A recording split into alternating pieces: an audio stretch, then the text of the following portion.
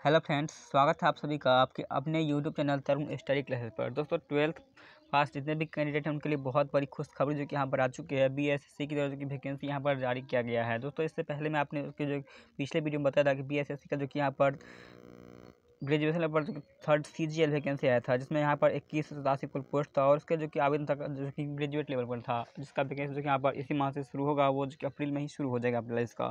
तो उसके बारे में हमने यहाँ बताया था क्योंकि वो केवल, और केवल ग्रेजुएट लेवल पर जो है, और वो जो जो भी यहाँ पर ग्रेजुएशन कर चुके हैं, वही अप्लाई कर सकते हैं। लेकिन उसमें दोस्तों, एक और यहाँ पर क्राइटेरिया क्या था कि जिनका भी एज यहाँ पर इक्कीस से लेकर और सैंतीस साल है, वही केवल आवेदन कर सकते हैं। भले ही आपका ग्रेजुएट फाइनल हो भी चुका हो, लेकिन अगर आपका उम्र जो कि एक अगस्त 2021 से, इक्कीस तक अगर आप इक्कीस साल नहीं पूरा करते हैं तो आप इस फॉर्म के लिए अप्लाई नहीं कर सकते हैं। मान के चलिए अगर आपका जो कि ग्रेजुएशन 2022 में या फिर 2021 में ही क्लियर हो चुका है, लेकिन फिर भी अगर आपका यानी कि एक अगस्त, एक आठ 2021 तक अगर आप इक्कीस साल की आयु को पार नहीं कर नहीं किए हैं तो आप उसके लिए आवेदन नहीं कर सकते थे। बस दोस्तों इसलिए जो कि यहाँ पर अब बहुत बड़ी खुशखबरी आ चुका है क्योंकि यहाँ पर ट्वेल्थ पास कर जो कि यहाँ पर अठारह साल से अधिक इसका जो एज का क्राइटेरिया हुआ, इस वैकेंसी के बारे में पूरा आपको ए टू जेड जानकारी बताएँगे, क्या इसका सिलेबस रहने वाला है, क्या इसका जो कि यहाँ पर वैकेंसी कब तक आएगी और कब अप्लाई होगा, कब इसका जो कि कंप्लीट करवा लिया जाएगा, इसके बारे में पूरी डिटेल में बात करेंगे। वीडियो को आप लोग कंप्लीट देखिएगा चैनल पर अगर पहली बार आए चैनल को सब्सक्राइब करके और आने वाले बेल नोटिफिकेशन को भी ऑन कर लीजिएगा, क्योंकि हम यहाँ पर इसी तरीके जो कि नोटिफिकेशन आपको अपडेट देते रहते हैं। यहाँ पर दोस्तों सैलरी भी काफ़ी अच्छा है और ये वैकेंसी जो कि यहाँ पर ट्वेल्थ पास के लिए बहुत अच्छी वैकेंसी मानी जाती है। यहाँ पर हम पहले सबसे पहले बात कर लेते हैं कि यहाँ पर कुल पद कितना रहने वाला है यहाँ पर सैलरी कैसे मिलने वाला है। दोस्तों बता दूँ कि यहाँ पर इस बार जो कुल पद रहने वाला है तो वो तीन या चार विभाग है, इसमें कुल वैकेंसी को शामिल किया जाएगा। और लगभग यहाँ पर अप्रॉक्स यहाँ पर बारह हज़ार इसका कुल जो पोस्ट रहने वाला है। और यहाँ पर अगर बात करें हम यहाँ पर कि वैकेंसी का एज का क्राइटेरिया ग्यारह है, याद रखिएगा दोस्तों, इसका जो यहाँ पर जैसा कि ग्रेजुएशन लेवल पर था, वो इक्कीस से लेकर और सैंतीस वर्ष का आयु रखा गया था। और इस बार जो यानी कि जो ट्वेल्थ लेवल पर रखा जाएगा तो इसके जो कि वैकेंसी यानी कि वैकेंसी जो रखा जाएगा तो वो अठारह से लेकर और यहाँ पर सैंतीस वर्ष तक जो कि रखा जाएगा। हो सकता है एस सी में यहाँ पर एक दो साल की छूट भी यहाँ पर दिया जाए, लेकिन यहाँ पर जनरल कैटेगरी के लिए अठारह से लेकर और सैंतीस वर्ष तक जो कि आयु रखा गया है। और दोस्तों, आपको बता दूँ कि इसमें केवल केवल तीन एल की जो कि पोस्ट होंगे, याद रखिएगा। इसमें यहाँ पर जो कि एलडीसी के पोस्ट होंगे और ये काफ़ी बड़ी संख्या में जैसे कि यहाँ पर ग्रेजुएशन लेवल पर जो है तो वहाँ पर जो कि इक्कीस सौ सैंतीस ही आवेदन, यानी कि सीट की संख्या थी। लेकिन इस बार यहाँ पर यहाँ पर इनकी बारहवीं पास पर जो लिया गया है तो इसमें यहाँ पर जो कि सेकेंड स्तरीय इंटर लेवल जो कि वैकेंसी है, इसमें यहाँ पर बारह हज़ार पोस्ट रहने वाला है। और आपको बता दूँ कि यहाँ पर सिलेबस क्या रहने वाला है? तो सिलेबस तो जो भी आपका यहाँ पर ग्रेजुएशन लेवल का सिलेबस है तो सेम ही सिलेबस यहाँ पर रहेगा। सिलेबस में कोई भी यहाँ पर चेंजिंग नहीं किया जाएगा।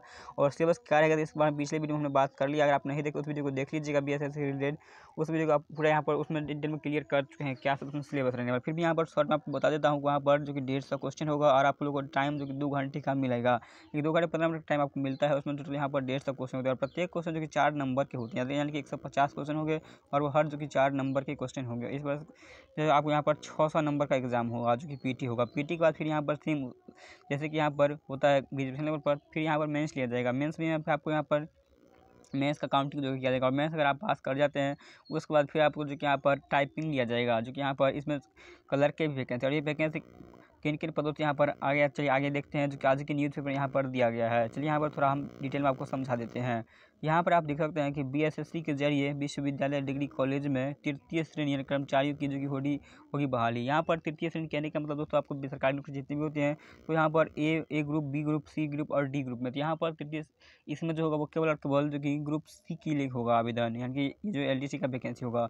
और रही बात अगर ग्रुप ए की तो ग्रुप ए की जो कि यहाँ पर वैकेंसी नहीं आती है ग्रुप सी या ग्रुप बी से जो कि प्रमोशन के द्वारा जो कि ग्रुप ए में शामिल किया जाता है उनको। तो यहाँ पर देख सकते हैं कि पटना पटना से जो प्रकाशित न्यूज़ पेपर होता है प्रभात खबर, उसमें यहाँ पर आज के संस्करण में यहाँ पर दिया गया है। विश्वविद्यालय और डिग्री कॉलेजों में जो कि तृतीय श्रेणी के कर्मचारियों की बहाली अब बिहार कर्मचारी आयोग के ज़रिए कराई जाएगी।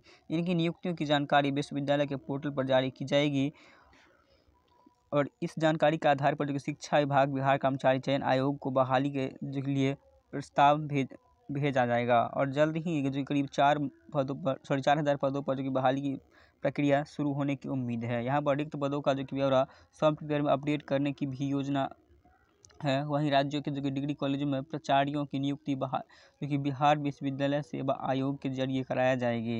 यह जानकारी शनिवार को जो सचिवालय के आयोजित ब्रेन स्ट्रॉमिंग की बैठक में प्रस्तुतिकरण के ज़रिए साझा किया गया है, जो कि शनिवार को सचिवालय शाखा की, जो कि बैठक होती उसमें यहाँ पर बताया गया है। अब दोस्तों, आप बात करते हैं वैकेंसी आखिर कब तक आएगी? आप लोगों के मन में ये भी डाउट होगा कि वैकेंसी कब तक आएगी? क्या ये अप्रैल में ही आएगी? दोस्तों, बिल्कुल ये अप्रैल में नहीं आएगी। ये वैकेंसी आपकी, जो कि मई में, यानी कि मई के पहले सप्ताह से ही, जो कि यहाँ पर ये वैकेंसी शुरू हो जाएगा और आप आवेदन कर सकते हैं। इससे पहले जो यहाँ पर थर्ड लेवल का ग्रेजुएशन का जो यहाँ पर अप्लाई का डेट यहाँ पर जो जारी कर दिया गया है, जिसकी जो कि यहाँ पर अप्रैल में ही है तो जो कि यहाँ पर पंद्रह अप्रैल से शुरू हो जाएगा। और यहाँ पर ये अगर बात कर लिए पिछले बार भी दो हज़ार चौदह में जो वैकेंसी आया था तो उसमें भी यहाँ पर मार्च में जो यहाँ पर पहले जारी किया गया था ग्रेजुएशन थर्ड लेवल सी का। और फिर उसी के एक महीने बाद जो कि यहाँ पर ट्वेल्थ लेवल का इंटर स्तरीय जो कि वैकेंसी जारी किया जाएगा तो किया गया था। तो फिर उसी तरह से यहाँ पर इस बार भी शामिल किया गया है। और अगले माह जो कि यहाँ के मई में आप लोग का वैकेंसी जो कि ट्वेल्थ लेवल पर जारी कर दिया जाएगा। तो आप लोग अच्छे तरह की तैयारी करें सिलेबस के अकॉर्डिंग सिलेबस क्या रहने वाला है जिसकी पिछली वीडियो में बात कर चुके हैं। उसका लिंक भी आपको इस वीडियो के डिस्क्रिप्शन में मिल जाएगा।